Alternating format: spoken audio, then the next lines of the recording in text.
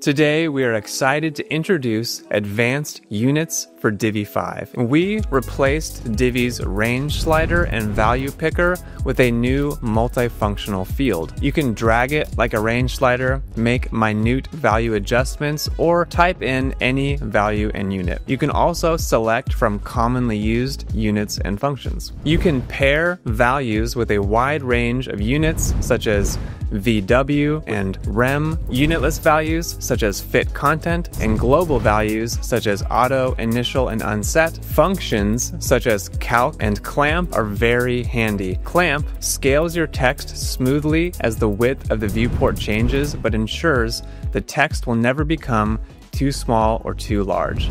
Calc 100% minus 60 pixels gives me the perfect width with precisely 30 pixels of space on either side. I can define my H1 through H6 heading text sizes using CSS variables, then use those variables in my default title text preset and throughout my website. Advanced Units is available today and it's one of many features coming to Divi this year.